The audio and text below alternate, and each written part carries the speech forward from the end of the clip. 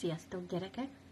Én Györgyi néni vagyok, az Abonyi Gyöngyszemek óvoda napraforgó csoportjának egyik óvónénie. Én egy nyuszis mesét hoztam nektek, hallgassátok, sok szeretettel ajánlom mindenkinek. A mese címe Torkos nyuszi. Valahol az erdő mélyén, vadvirágos tisztás szélén áldogált egy kis faházikó. Abban éldegélt Nyuszi mama, két kis virgonc Nyuszi fiával, Ugrival és Bugrival. Nagyon jó étvágya volt a két kis Nyuszinak.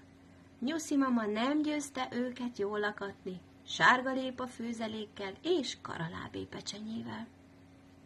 Egyik nap egy hatalmas nagy bükfa törzsére kiszegezték, hogy hamarosan a piripócsi vásár megnyitja kapuit, várja az erdő minden lakóját, sok-sok szeretettel.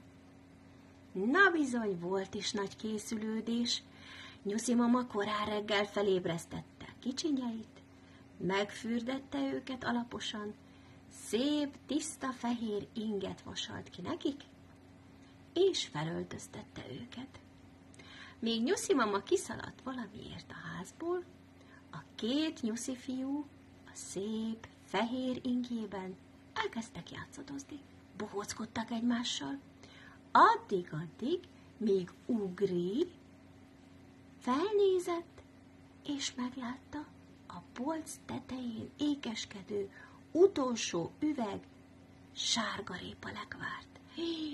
Nem is kellett neki több, azonnal a pocakjára gondolt, hogy milyen jó lenne azt onnan minél hamarabb levenni. Ne csináld, ne csináld, Ugri, baj lesz belőle, nem szabad, szólt a testvérkéje. De Ugri nem törődött vele. Felmászott a polcon, nyújtózkodott, és a mancsával már majdnem elérte, mikor egyszer csak puff, leesett a földre, ő maga is, és a lekvár is. Bizony, szerte széjjel tört az üveg, és még a nyuszi fiú orocskáját is megütötte. Erre a zajra bejött nyuszi mama. Égtelen haragra gerjedt. Haszontalan nyúl gyerek. Na most aztán nem visztek magammal a vásárra, itthon maradsz egyedül. Bizony, Nyuszi mama kérlelhetetlen volt, Bugri hiába próbálta testvérkéjét arra bíztatni, hogy kérjen bocsánatot a mamától, de sem ő, sem a mama nem volt hajlandó egymásnak megbocsájtani. Nyuszi mama jó alaposan bezárta az ajtót, és kettecskén Bugrival, a jó nyuszi fiúval elindultak a vásárra. Mentek, mentegéltek, de bizony az ő kedvük sem volt túl jó, hiszen a szívük mélyén mindketten nagyon sajnálták Ugrit. Ahogy beértek a vásárba, Nyuszi mama süteményt vásárolt Bugrinak, a jó Nyuszi fiúnak, mert a jó gyerek megérdemli a süteményt. Oda mentek meg-meg bácsi sátrához.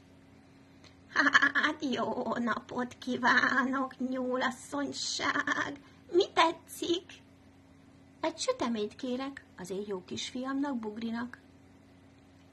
És a másik fiú hol van?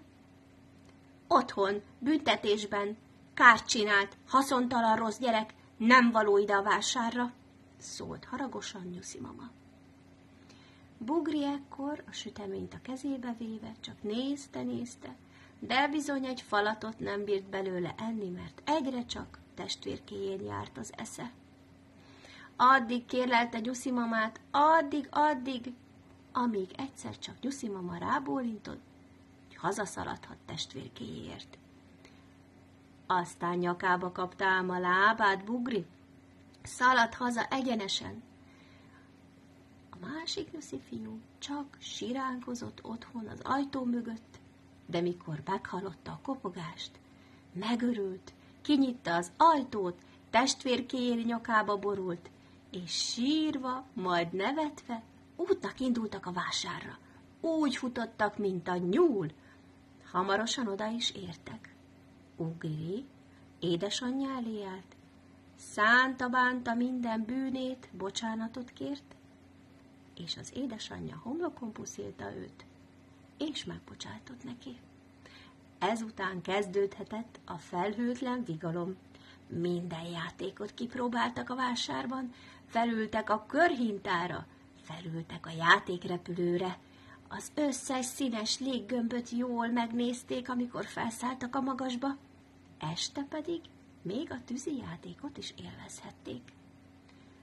Ahogyan a vásárnak vége lett, Nyuszi mama két fiával hazaballagott, lefektette őket, Ugri és Bugri pedig szerintem még most is a vásári élményekről álmodik.